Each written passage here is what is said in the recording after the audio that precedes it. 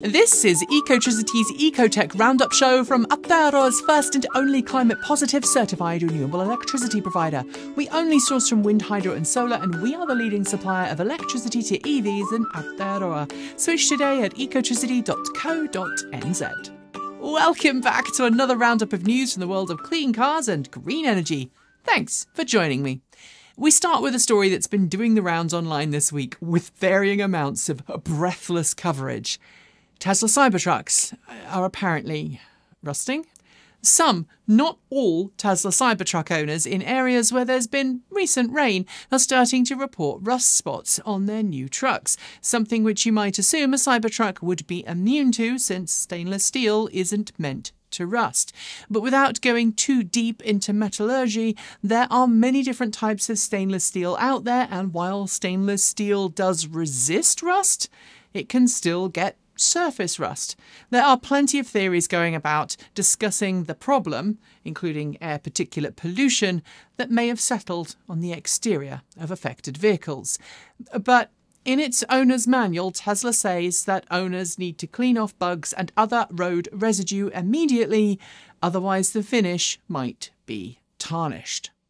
Chevrolet made a surprise announcement relating to its upcoming Equinox EV, the cheapest car it's going to build on its Ultium platform to date. Confirmed this week, the Chevy Equinox EV will start from 34,995 US dollars, including mandatory destination fees. And while that's the same price Chevrolet promised late last year, What's new is the fact that the Equinox EV will now be eligible for the full US federal tax credit, meaning that the effective price to get behind the wheel will be as low as 27,495 US dollars assuming that is that the buyer qualifies for federal tax incentives. For that, you'll get an estimated 319 miles, 513 kilometres of range, and an entry level 1LT front wheel drivetrain. A super interesting, quite nerdy set of figures from the European Automobile Manufacturers Association, or ACEA for short, shows that there's quite a bit of variation across the EU when it comes to electric truck and bus adoption. In its latest publication, the ACEA notes that 5.2% of all medium sized trucks across Europe had a plug last year up 229.4% on the previous year, while 1% of all new heavy goods vehicles were electric. It also shows that while Germany dominated registrations of both heavy duty and medium duty electric commercial vehicles, as well as electric buses, within and outside the EU, the Netherlands, Spain, Denmark, the UK, Norway, and Switzerland also showed significant growth in electric commercial vehicle adoption. However, in Central and Eastern European countries, there was a noticeably lower uptake of EVs, showing there's still a lot of work to be done in commercial vehicle fleets across Europe. While LFP battery packs are less power and energy dense than NCM based lithium ion battery packs, they're quickly becoming the preferred choice for many new EVs.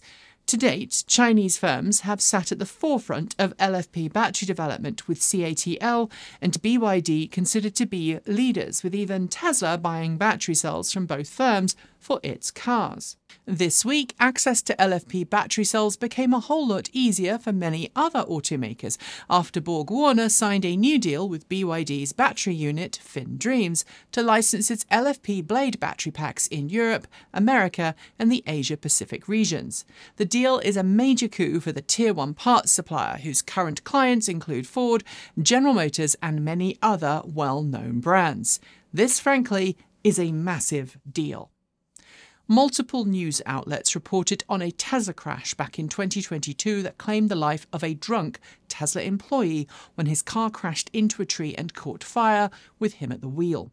According to incident reports from the time of the crash, the sole survivor of the accident reportedly told first responders that the driver was using a quote auto drive feature on the Tesla end quote and that quote it just ran straight off the road end quote. Since then, a full investigation has tried to ascertain if the car was in fact under manual or semi autonomous control, but in a public statement on X this week, Elon Musk disputed the reporting, stating that the employee did not have FSD downloaded on his car, and adding that had the car been operating in FSD, the accident, quote, probably would not have happened, end quote. However, data obtained by the Washington Post seems to suggest that FSD was, quote, active and included with the vehicle, end quote, and while data from collisions should automatically report it to Tesla, and Tesla did report the incident to NHTSA, crash data that would prove categorically what happened appears to be missing. I should note the driver was three times over the legal limit, and I should also reiterate that no semi autonomous vehicle is fully autonomous, and you should absolutely not drink and drive. We love electric bicycles and think they could really help our transition away from fossil fuels. But now we've got a trio of e bike stories we've kind of lumped together, all of which relate to e bike safety. First, Dutch police have unveiled a new portable rolling road or dynamometer that they can use to test the legality of e bikes they suspect are in violation of the nation's e bike laws on maximum power and speed.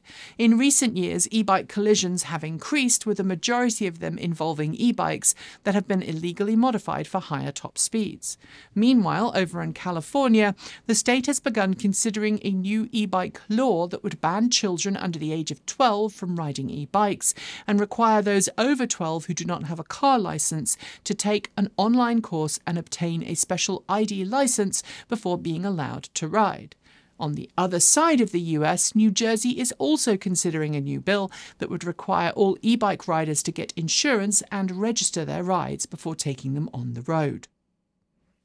In order to keep your electric car's battery pack healthy, it's generally accepted that the battery pack needs to be kept between 20 and 80% full unless you really do need that extra range on a long distance trip.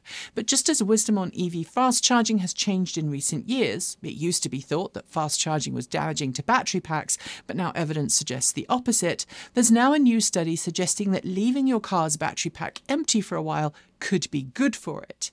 But, as is usually the case, detail matters. Enter a new study from Stanford University that says that allowing a lithium metal battery pack to rest at or near empty could dramatically improve its lifespan. But what is important to underline here is that the study isn't about the lithium ion batteries we find in most modern EVs today.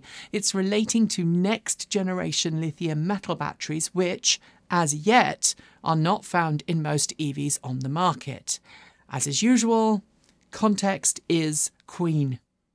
Electric Vertical Takeoff and Landing Company, Joby Aviation, one of a number of companies rushing to bring electric air taxis to reality, has just signed a deal with Dubai's Road and Transport Authority to start air taxi services there by 2026. Dubai has long been incredibly keen to establish eVTOL services and frankly has the financial clout to make it happen, which is why so many eVTOL firms are flocking there to set up operations.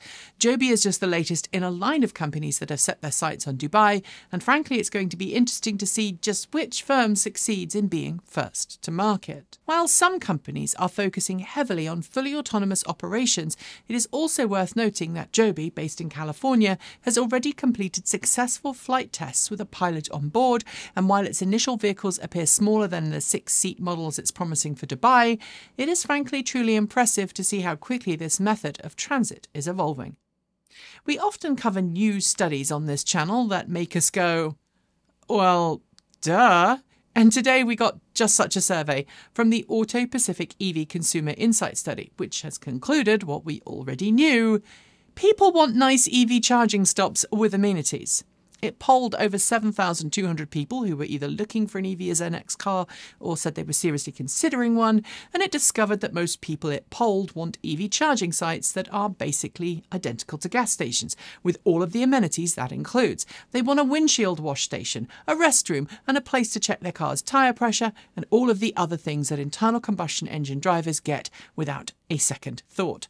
Luckily, commercial charging station operators around the world are waking up to this need, and I have to give a shout out to the Harris Ranch in California, which has offered all of the above and more for EV charging stations for a really long time. After LFP battery packs, the next big holy grail for the EV industry is solid state battery packs, which not only promise incredible energy density but also incredible charging capabilities. And this week we learned that two of the world's largest battery companies, BYD and CATL, have joined forces with NIO, CalB, Eve Energy, and Gotion High Tech to establish a new collaborative platform called the China All Solid State Battery Collaborative Innovation Platform, or CASIP for short. This new joint alliance, spearheaded by the Chinese government, aims to rapidly develop and commercialize next generation solid state battery tech for use in future EVs. This could cause some significant upset globally, though, so Frankly, this new partnership could cause some significant upset in the auto industry globally, so watch this space. Before we get to the last two stories, I have a quick question. Are you in the market for a new EV? Because if you are, and you live in Aotearoa, you should very much check out our very own buyer's guide at ecotricity.co.nz. It is packed with all the information you need to pick a car that's right for you, and it has plenty of details about vehicles you can get, available details about daily life with an EV, and so much more. So Follow the link below and start your journey today. When the auto industry in North America announced it was going to transition away from CCS Type 1 and towards NACS, we all had some questions about the process. And one of those thoughts was will they just rely on Tesla superchargers? And this week, that question was answered with a resounding no, as a bunch of US car companies announced a new charging network called IONNA, a new joint venture between BMW, GM, Honda, Hyundai, Kia, and Mercedes Benz, as well as Stellantis. As a consequence, Stellantis, of course, has confirmed that it will be switching to NACS, but unlike other automakers making the switch, it doesn't yet have a deal with Tesla to gain access to the supercharger network, which might suggest people with Jeeps or Dodge EVs or other Stellantis models might only be able to use non Tesla operated NACS charging infrastructure. So watch this space. For years, and I do mean years, many automotive journalists, mainstream media outlets, and auto executives have pushed back against the battery electric vehicle switch, stating that hydrogen fuel cell cars would be a far better choice. And for more than a decade, you've been able to lease and, in some cases, buy select hydrogen fuel cell cars in California. At least some of our viewers have done just that.